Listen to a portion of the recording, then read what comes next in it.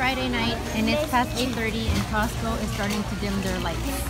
We went and did a huge grocery shopping, maybe it could be bigger, because I got my Costco plate out for the year. And I'll get I want some, some of and I'm getting pizza right now, so we just have to wait for Mommy, that. I want okay? some of those. You want some of those yogurt? Can I try?